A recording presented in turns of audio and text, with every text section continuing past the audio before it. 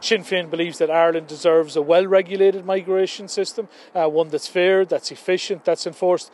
Uh, and this isn't going to happen uh, with, the, with the Irish government signing up without reservation to the EU's Asylum and Migration Pact. And we need to be clear this is a key issue of sovereignty. So, yes, we can work with others in some areas, but an Irish government uh, must be the ones to decide on key aspects of any immigration system. Uh, and this is something that we cannot hand authority to the EU on.